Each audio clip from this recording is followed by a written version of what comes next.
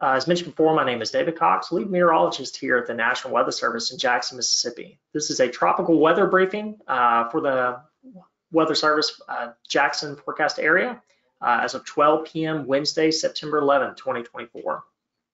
So the first important updates for this briefing are that Hurricane Francine is moving northeast uh, as a Category 1 hurricane, expected to make landfall later this evening. Uh, the big changes were uh, some changes to the wind threat and uh, some additional changes to the precipitation totals. But more importantly, the wind hazards have been expanded eastward with some uh, trimmed on the western side of that as well. So the wind potential remains uh, consistent with previous forecasts.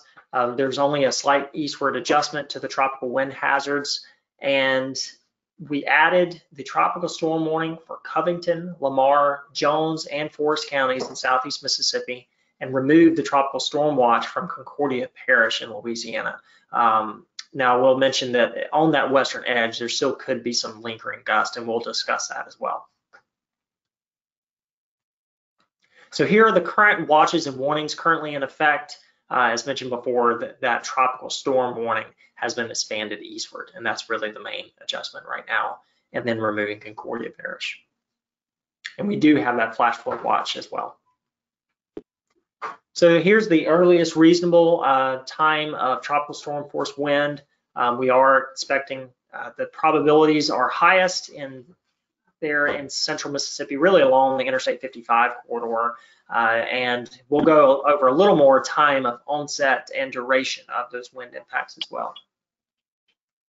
So a little more zoomed in version of the uh, probabilities.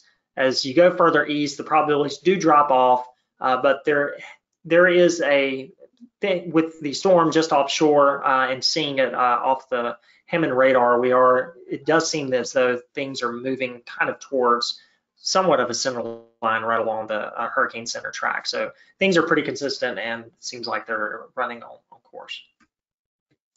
So here's our updated uh, wind threat graphic. Uh, as mentioned before, the wind potential remains consistent with only a slight eastward adjustment. And really the eastward adjustment was to the elevated area where there could be some wind gusts up to 55 miles per hour and potential for widespread down trees, power lines, and power outages as well.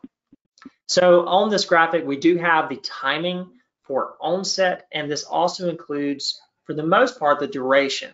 So for the Highway 84 corridor and south of Interstate 20, after into this evening after 7 o'clock into early Thursday morning after midnight, there will be some continuing wind threat after that as well but the highest impacts are expected at least through that time frame. Uh, and the Interstate 20 corridor uh, from 10 p.m. through 7 a.m., but as mentioned before, there could be uh, some potential that lingers later. And then as the system begins to weaken along uh, the Interstate 55 uh, or Interstate 20 corridor and moves northward into the Highway 82 corridor, there could be uh, some potential into the overnight hours and early Thursday through around midday uh, for that onset and duration of uh, the highest wind impacts there in the Highway 82 corridor. So um, with it moving into the I-20 corridor right around you know the time of rush hour definitely is an impactful time and uh, so just be aware that those impacts could extend um, potentially after even though the wind may begin to subside after that uh, 7 a.m. time frame. Flash flooding threat uh, is still fairly consistent. The four to six inches is possible with two to four likely uh, to the west. And with it shifting to the east, uh, most of the higher impacts do look to be on the along and east of the center line of the track. This could also cause some minor rises and minor uh, river flooding is possible uh, with this as well. So here's our storm total rainfall expected. Uh, quite a bit uh, anticipated in the coastal areas of Mississippi and Louisiana, and then moving along the Interstate 55 corridor into the uh, Golden Triangle as well. So as mentioned before, four to six inches uh, looks to be the um, main thing. Now, with this being over a longer duration, uh, some areas can handle uh, some of that rainfall, but uh, localized uh, flooding urban areas and poor drainage areas could have that potential for flash flooding.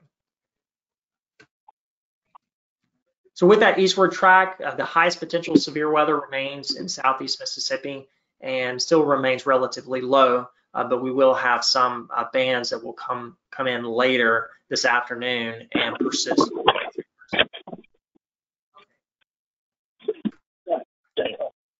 So that's basically everything uh, with the briefing, and uh, we will open the floor up for questions.